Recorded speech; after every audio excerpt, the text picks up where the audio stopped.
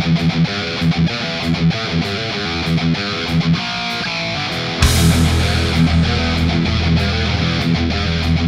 guys, Wolf Hoffmann here from Accept, and I'm totally looking forward to see you, everybody of you at Wacken on August 3rd.